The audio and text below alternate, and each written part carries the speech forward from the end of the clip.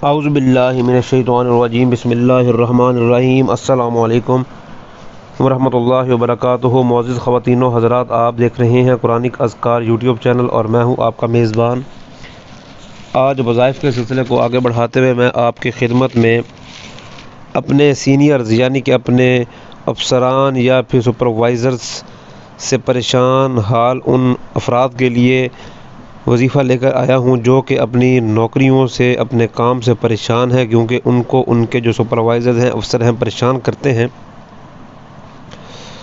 बाज़ दफातर में बाद अफसरान बहुत ही ज़्यादा बद कलाम और सख्त मिजाज होते हैं, जो कि मातहतों को बहुत ज़्यादा तंग करते हैं और हर वक्त जहनी परेशानी में भी मुबतला किए रखते हैं। जबकि मातहत अपना काम, अपनी ज़िम्मेदारी पूरी कोशिश और पूरी ज़िम्मेदारी, पूरी फ़र्द शनासी के साथ भी पूरी करें, लेकिन फिर भी उनके अफसरान खुश नहीं होते। तो ऐसे अफसरान से निजात हासिल करने के लिए आपने या मुजिल्लू का विरद चालीस दिन तक चार हज़ार दो सौ पचास मरतबा, यानी कि चार हज़ार दो सौ पचास मरतबा। ये विरद आपने चार हज़ार दो सौ पचास मरतबा या मुजिल्लू पढ़ना है। और नमाज़ असर के बाद पढ़ना इसका आपने नमाज़ असर के बाद ही इस वीर को करना है। नमाज़ असर के बाद आपको आलमोस्ट एक घंटा या इससे भी कम वक्त में ये विरदा मुकम्मल कर सकते हैं।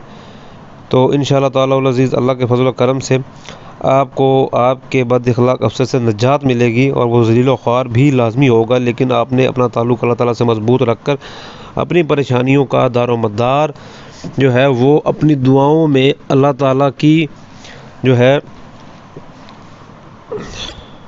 रहमत जो है, उसके ज़रिए हल करवाना है, क्योंकि अल्लाह ताला से आपका ताल्लुक़ मज़बूत होगा। जिस ज़ुबान से अल्लाह ताला का ज़िक्र होता है, उस ज़ुबान से की गई दुआएँ बहुत बहुत बड़ी बड़ी बलाओं को टाल देती हैं। तो अफसरान तो बहुत छोटी सी बात हुआ करते हैं, लेकिन इसमें आपने शरीयत के अहकाम की पासदारी करनी है, यकीन के साथ मकसद के में रखते हुए आपने अमल करना है, और इस अमल को आपने करते रहना है। अगर इस अमल में कुछ समझना है तो या फिर आप किसी और मसाइल का शिकार हो तो हमें व्हाट्सअप करें। हमारा व्हाट्सअप नंबर वीडियो के डिस्क्रिप्शन में दिया गया है। असल वरहमल रहमतुल्लाहि व बरकातुहू